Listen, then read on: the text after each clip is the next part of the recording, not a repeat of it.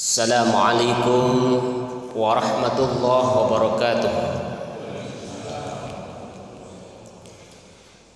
الحمد لله رب العالمين نحمده ونستعينه ونستغفره ونعوذ بالله من شرور أنفسنا ومن سيئات أعمالنا.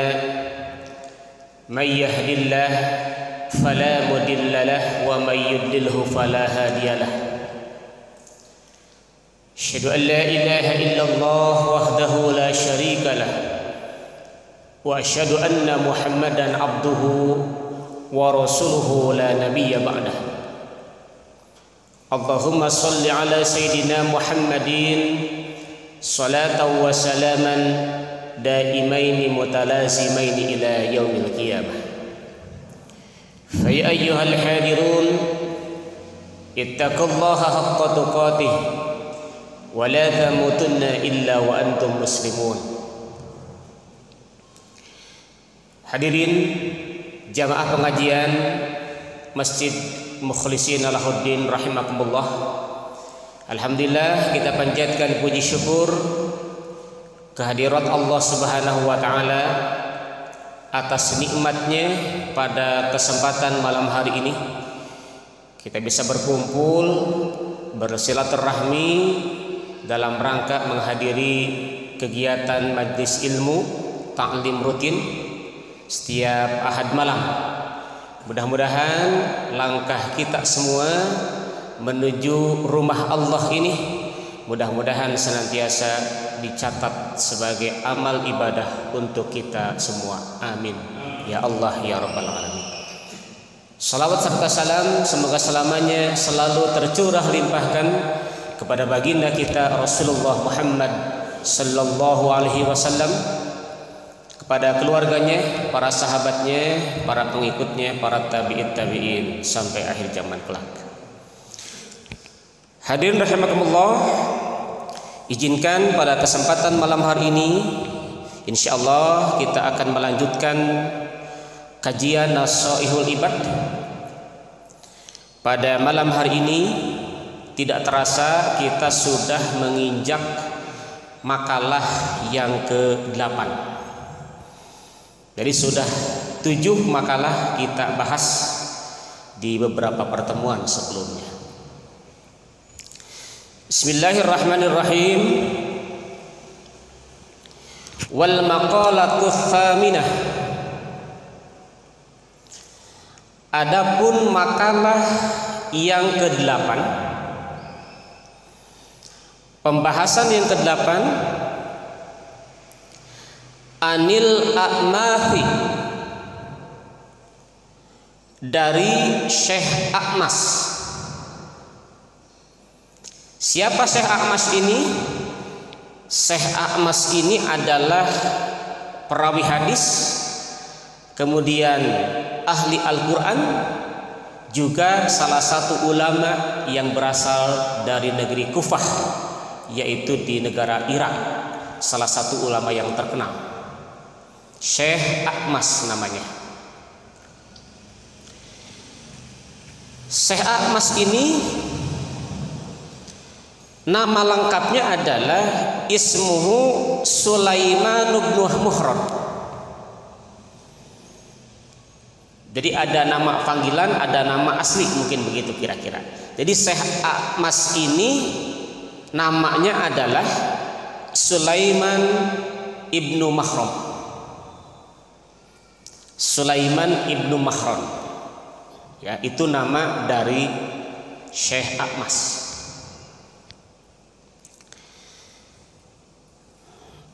Syekh Ahmas mengatakan dalam makalah yang ke-8 ini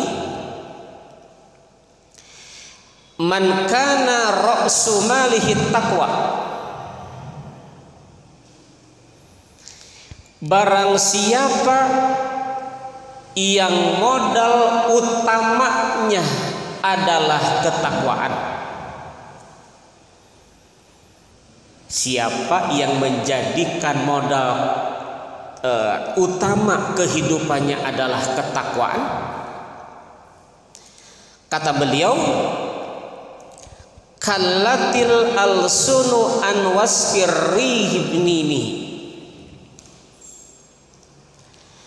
maka lisannya akan merasa sulit untuk mengatakan bahwa dia telah beruntung dalam agamanya.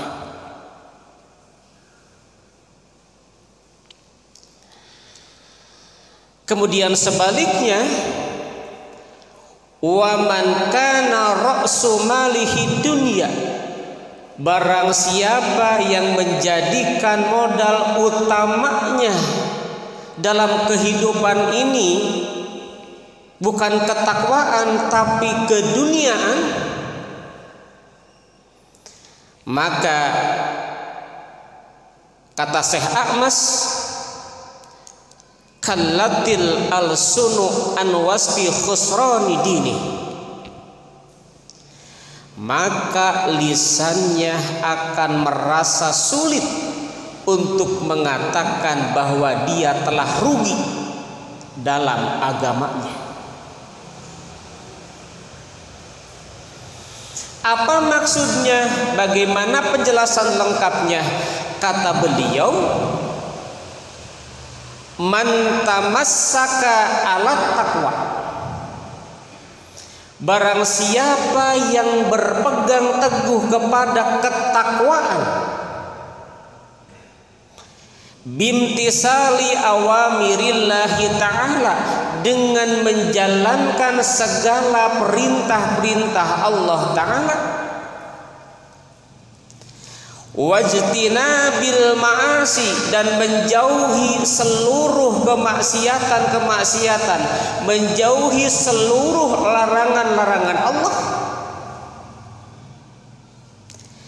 Bi an assasa af'aluhu dengan mendasarkan seluruh pekerjaannya bimuwafiqati syar'i sesuai dengan hukum syarak falahu hasanatun kasiratun la maka baginya akan mendapatkan kebaikan-kebaikan yang banyak dengan kebanyakannya sehingga la kebanyakan tidak, tidak bisa dihitung artinya kalau kita hidup memiliki prinsip dengan prinsip ketakwaan, memegang teguh ketakwaan dengan cara menjalankan segala perintah Allah, menjauhi larangan-larangan Allah. Sekali lagi, falahu hasanatun kasiratun la tuhsa. Orang yang menjalankan perintah Allah, menjauhi larangan Allah dan dia dalam pelaksanaan ketakwaannya berasaskan sesuai dengan apa yang disyariatkan oleh Islam maka baginya hasanatun kasyiratun la akan mendapatkan kebaikan-kebaikan yang banyak dan saking banyaknya kebaikan itu tidak bisa dihitung.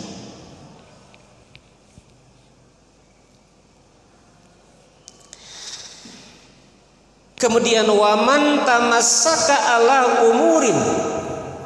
Tapi siapa yang berpegang teguh terhadap perkara-perkara mukhalifatin lisari berpegang teguh terhadap perkara yang bertentangan dengan hukum syarak maka baginya falahu sayyiatun kasiratun maka justru baginya akan mendapatkan keburukan-keburukan yang banyak. La tusok dan keburukan itu tidak bisa dihitung saking banyaknya.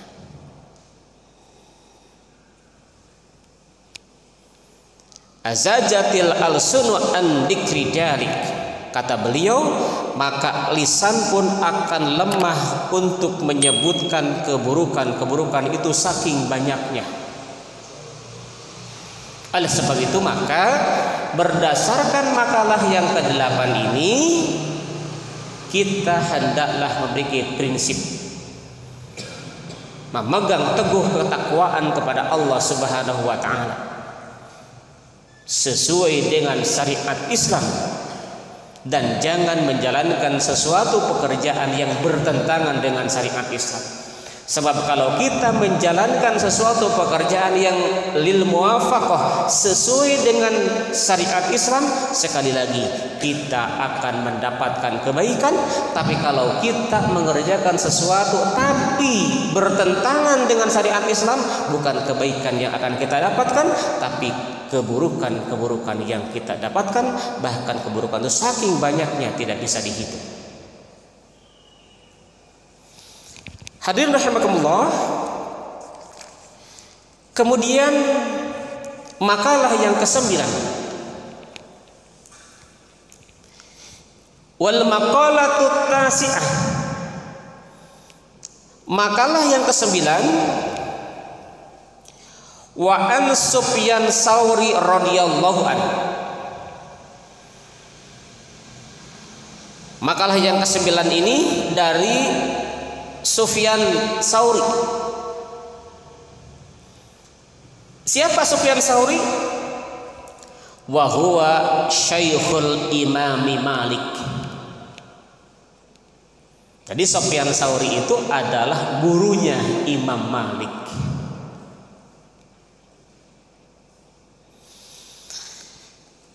Beliau mengatakan kullu maksiyatin nasiatin an syahwatin. Setiap kemaksiatan setiap kedurhakaan yang muncul dari syahwat yang muncul dari nafsu fa innahu yurja ghufranuha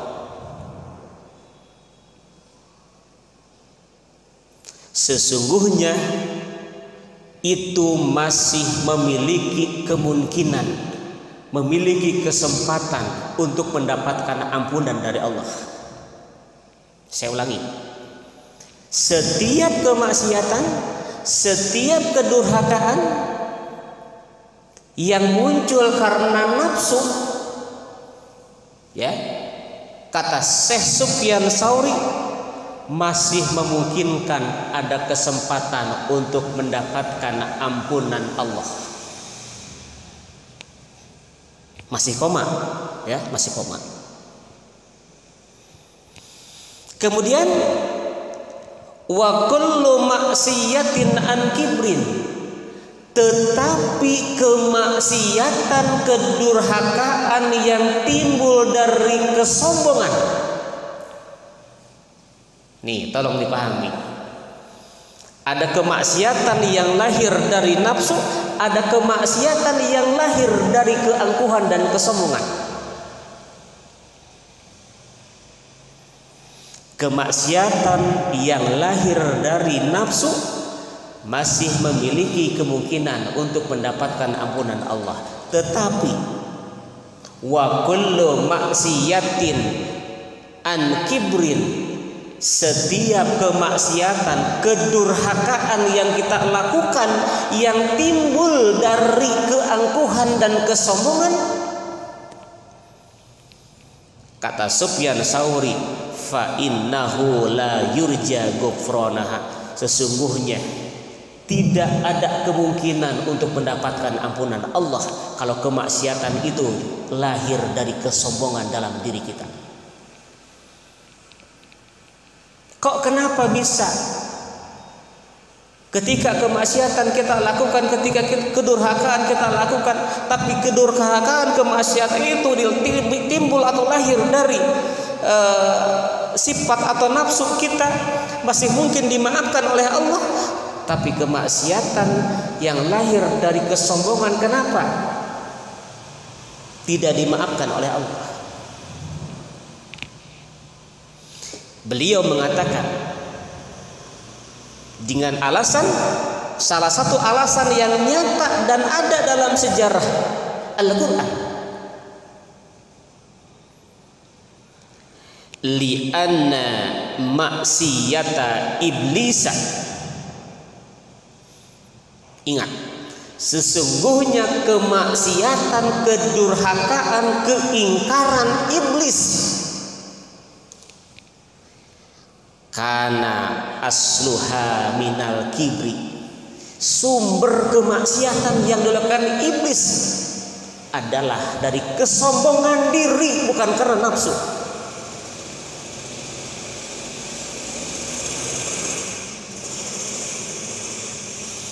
Sedangkan panajalatu Sayyidina Adam Peristiwa penggelinciran Tergelincirnya Nabi Adam dari surga. Karena asluha minas sahawat Itu sumbernya karena nafsu.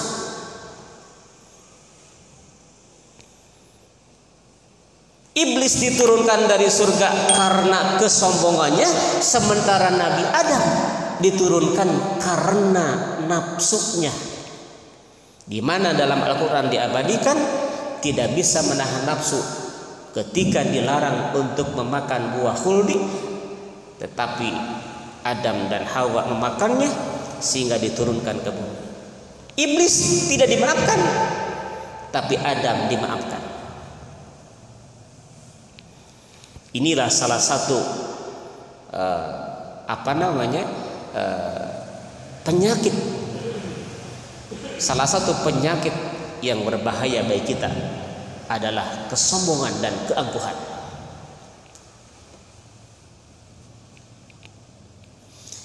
Hadirin rahimakumullah,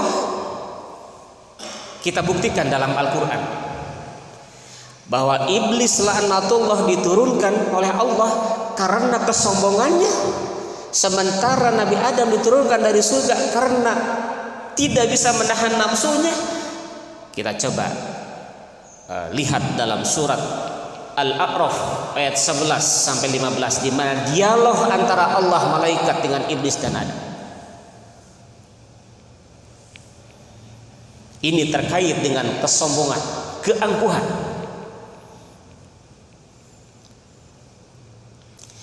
Bismillahirrahmanirrahim.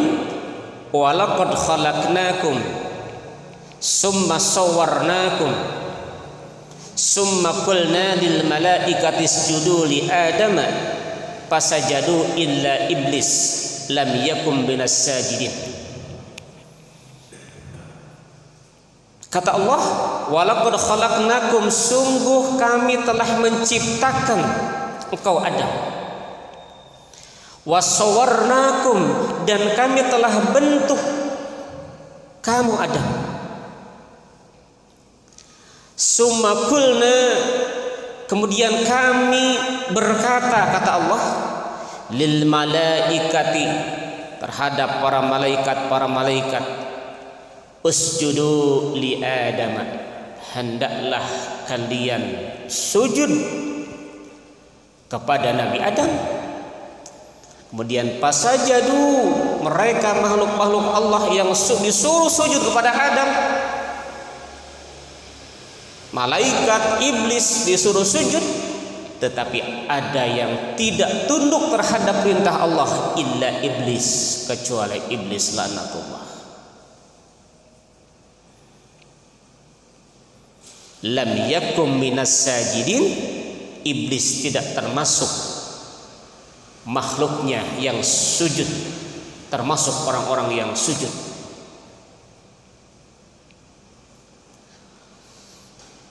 kemudian Allah bertanya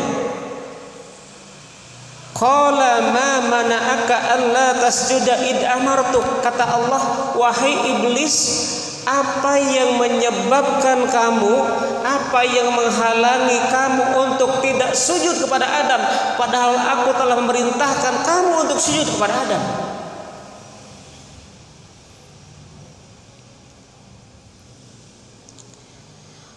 Qala ana khairu minhu Iblis menjawab dengan lantangnya Saya lebih mulia saya lebih baik daripada Adam.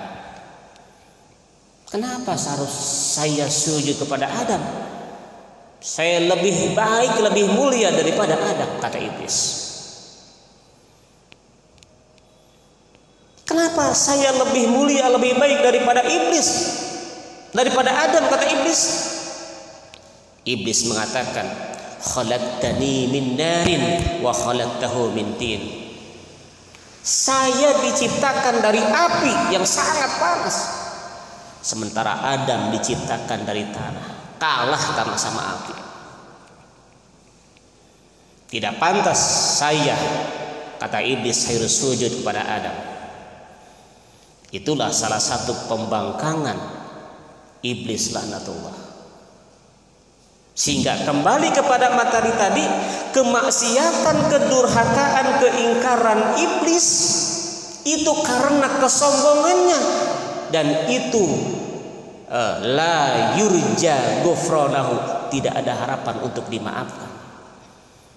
Tadi kemaksiatan, kedurhakaan, keingkaran yang dilakukan oleh Adam yurja gufranahu masih ada kesempatan dimaafkan oleh Allah kesalahan Adam dengan cara bertaubat karena kemaksiatan yang dilakukan oleh Adam sumbernya nafsu bukan kesombongan dan keangkuhan.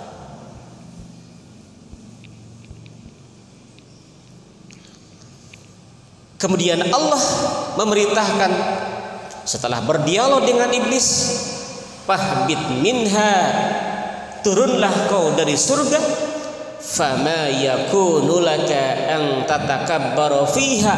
Karena kamu tidak memiliki kepantasan kepatutan menyombongkan diri di sini di dalam surga ini.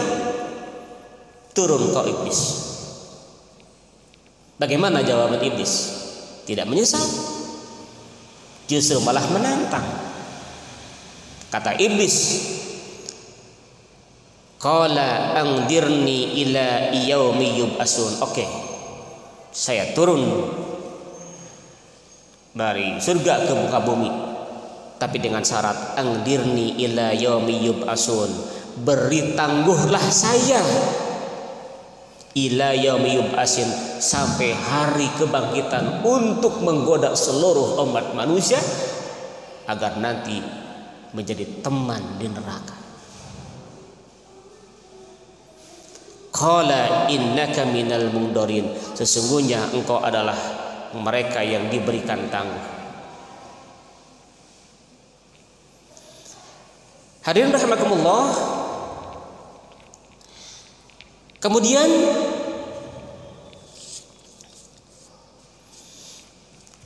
berdasarkan apa yang disampaikan oleh Sufyan Sauri ini maka ada dua kata kunci Berdasarkan apa yang disampaikan oleh Sufyan Sauri ini ada dua kata kunci.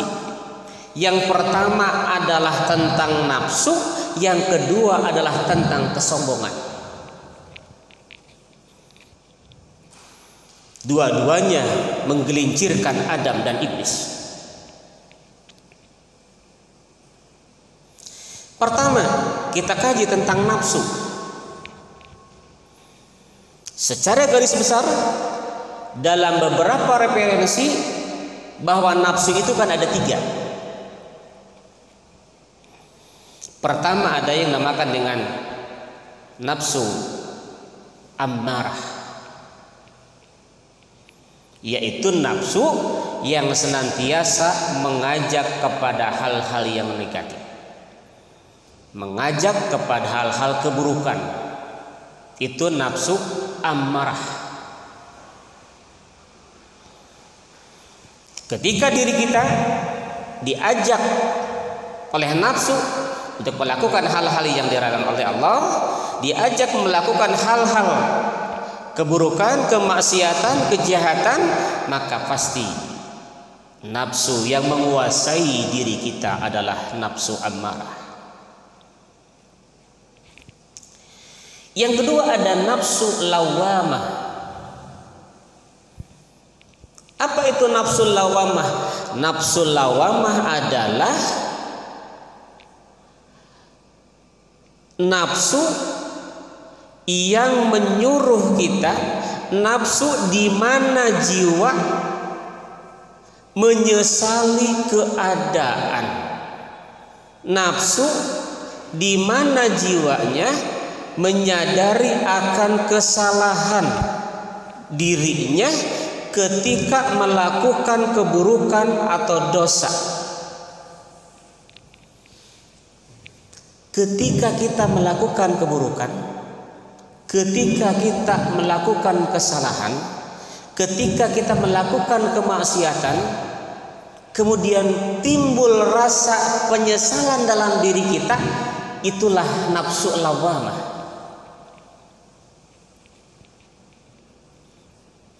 Artinya, kalau kita melakukan sesuatu dosa, melakukan kemaksiatan atau melakukan yang dilarang oleh Allah, setelah itu kemudian timbul rasa penyesalan, maka nafsu lawamahnya masih berfungsi. Kita harus bersyukur kepada Allah, masih diingatkan oleh nafsu itu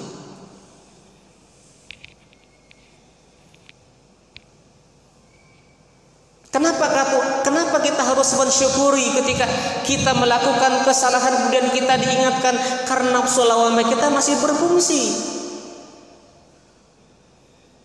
Karena saya yakin tidak sedikit orang yang ketika melakukan dosa, yang ketika melakukan kesalahan, yang ketika melakukan kemaksiatan tidak ada penyesalan dalam dirinya. Ketika ada orang yang seperti itu, maka nafsu lawamahnya sudah tidak berfungsi.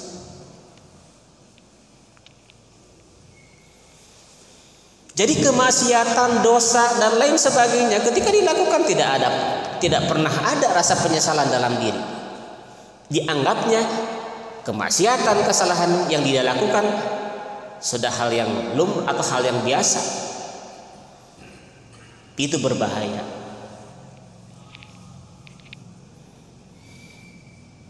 Hadirin rahimakumullah. Lalu ketika kita melakukan kesalahan, melakukan dosa, kemudian kita ada rasa penyesalan dalam diri kita, maka ikuti penyesalan itu dengan cara bertaubat, memohon ampun kepada Allah.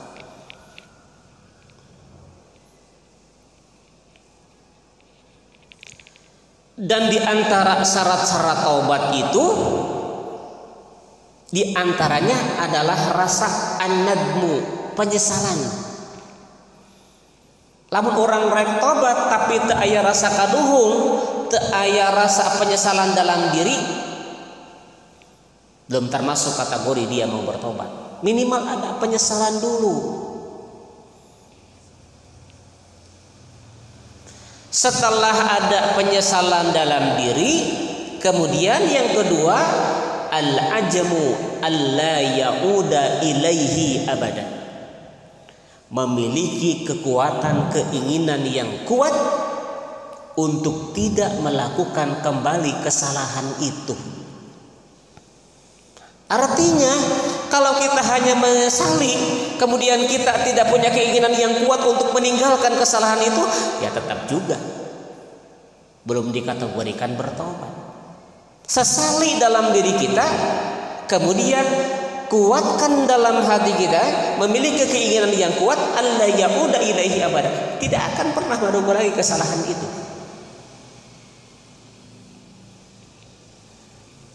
Baru yang ketiga,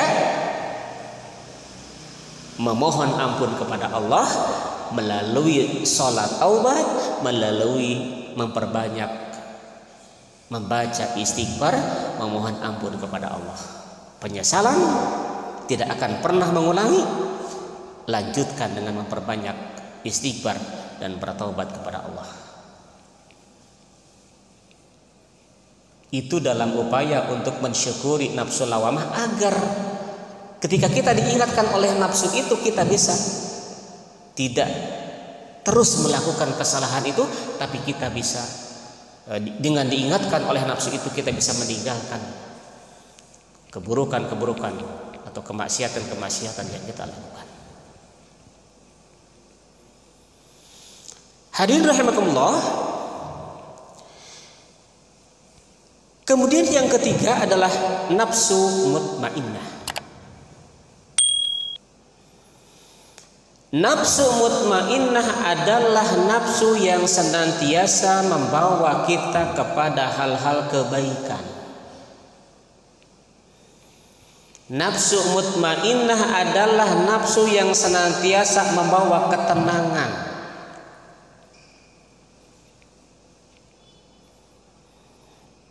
Ketika nafsu kita ngajak ngaji, ketika nafsu kita ngajak berbuat baik, ketika nafsu kita ngajak untuk pergi ke masjid untuk sholat berjamaah insya Allah itu adalah nafsunya nafsul mutmainnah.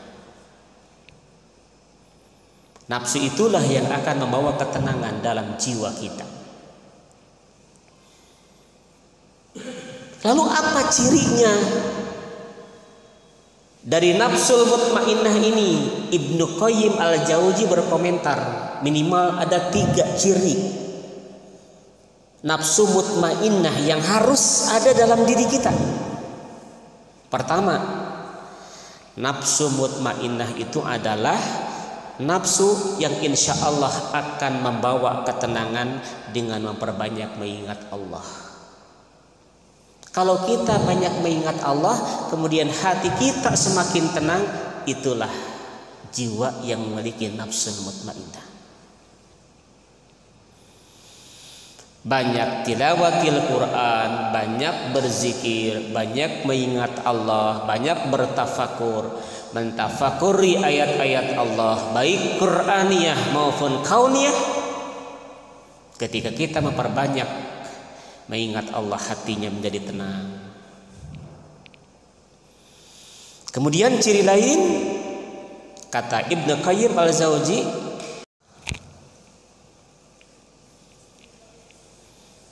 selalu rindu bertemu dengan Allah. Bagaimana caranya kita bertemu berkomunikasi dengan Allah? Yaitu salah satunya melalui sholat. Ketika kita sholat, kita sedang berkomunikasi dengan Allah, kita sedang bertemu dengan Allah.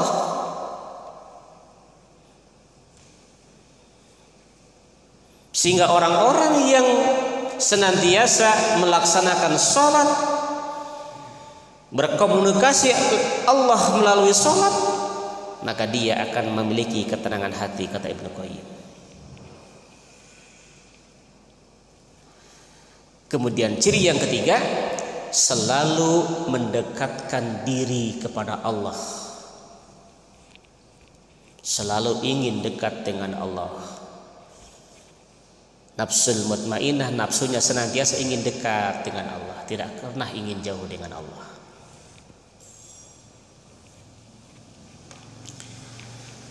Hadirin rahimakumullah.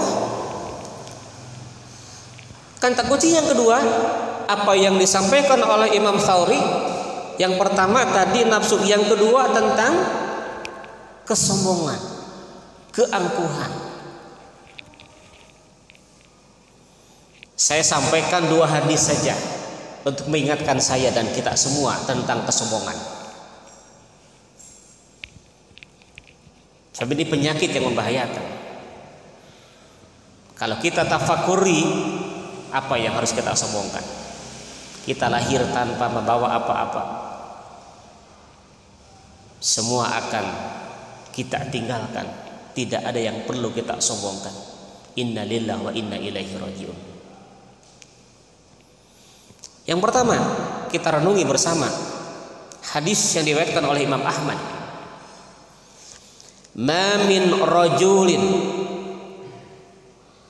yamutu hina yamutu wa fi qalbihi misqala habatin min khardalin min kibrin.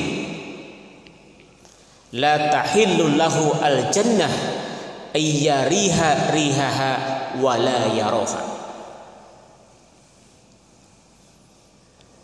Kata Rasulullah, tidaklah seseorang ia mutu dia meninggal dunia wahina yamutu dan ketika dia saat meninggal dunianya wa fi qalbihi ada di dalam hatinya misqala habbatin sebesar biji min khordalin dari biji sawi min kibrin dari sifat sombong Ketika seseorang meninggal dunia di dalam hatinya ada kesombongan sebesar biji sawi dalam hatinya. Kata Rasulullah, la tahillu lahu al jannah haram baginya untuk masuk surga. Sagede biji sawi. Komo lamun orang mula cangkeng di nasirah. Hartina gede rasa sombongna sombong anu tiga la tahillu lahul jannah tidak halal masuk ke dalam surga dengan sebesar biji sawi apalagi kesombongannya seperti Fir'aun kesombongannya besar mulak cangkeng di nasirah asa aing sang sagalana asa aing pang benerna asa hirup pang sagalana. Menganggap orang lain selalu salah aing pang benerna. La tahillu lahul jannah maka tidak halal baginya surga ayyariha rihaha. Bukan hanya surga mencium bau surga haram. Naudzubillah. Jangankan masuk surga orang yang sombong itu ayyariha rihaha wala yaroha jangankan masuk surga melihat dan mencium bau surga sudah dihalang sudah diharamkan oleh Allah Subhanahu wa taala. Na'udzubillah summa na'udzubillah ya Allah mudah-mudahan dalam diri kita tidak ada sifat kesombongan karena kesombongan adalah milik Allah Subhanahu Orang yang sombong selalu melihat orang lain salah dan menganggap dirinya yang selalu benar. Hadis yang kedua sebagai peringatan untuk kita semua. Rasulullah mengatakan dalam hadis riwayat Ahmad, Inna ahlan nari sesungguhnya penghuni neraka mereka adalah kullu ja'dharin setiap orang-orang yang kasar dan keras jawadin orang-orang yang sombong. Kalau dijelaskan Jawadin di sini adalah orang yang bangga sombong dalam berjalan.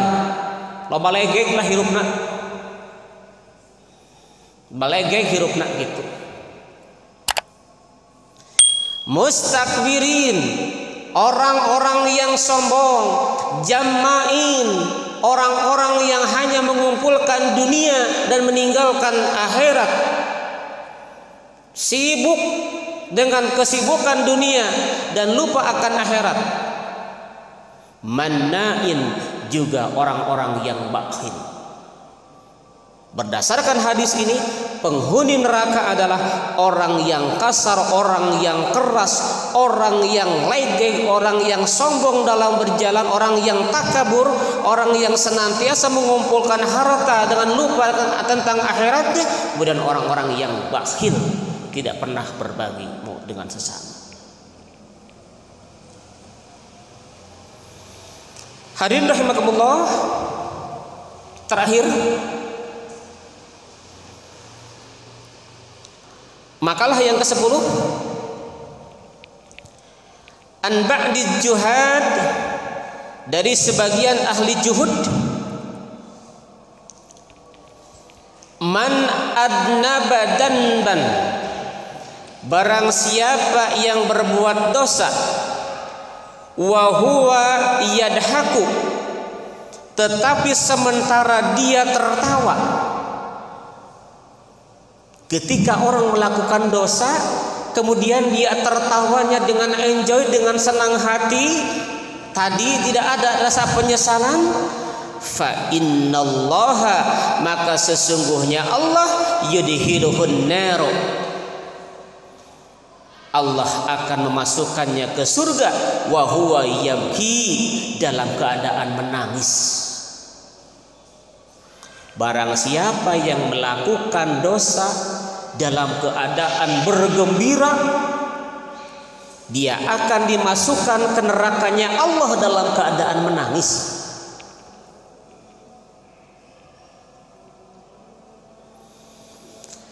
Sebaliknya Wa man ata'a wa huwa yabki. Barang siapa yang taat kepada Allah yang dibarengi dengan nangis, maka dia akan masuk surga dalam keadaan gembira. Hadirin rahimakumullah. Alhamdulillah saya secara pribadi diingatkan Melalui kitab ini banyak nasihat-nasihat yang sangat luar biasa. Banyak nasihat-nasihat yang patut kita renungkan, kita laksanakan dalam kehidupan sehari-hari. Mudah-mudahan saya secara pribadi juga kita semua dengan nasihat-nasihat sesuai dengan judul kitab ini Nasoihul Ibad, nasihat-nasihat untuk hamba-hambanya, untuk kita semua kita senantiasa diingatkan ketika kita melakukan kesalahan, ketika kita melakukan kemaksiatan, kita diingatkan melalui pengajian ini. Sebab salah satu niat yang harus kita tanamkan dalam diri kita dalam pengajian ini adalah litajdidil ilmi dan litajdidil iman. Niatkan dalam diri kita pengajian ini untuk menambah ilmu juga untuk menambah keimanan kita agar keimanan kita tetap stabil. Terima kasih. Mudah-mudahan ada hikmah dan manfaatnya. Insya Allah mudah-mudahan kita sehat semua. Bulan depan kita dilanjutkan e, materi yang ke-11. Satu nuhun. Terima kasih atas segala perhatiannya. Mohon maaf atas segala kekurangan dan kehilapannya. Kebenaran adalah datang dari Allah, mutlak kebenaran Allah Subhanahu wa taala, kesalahan adalah datangnya dari kebodohan diri sendiri. Hatur nuhun wal afu minkum. Billahi taufiq wal hidayah. Assalamualaikum warahmatullahi wabarakatuh.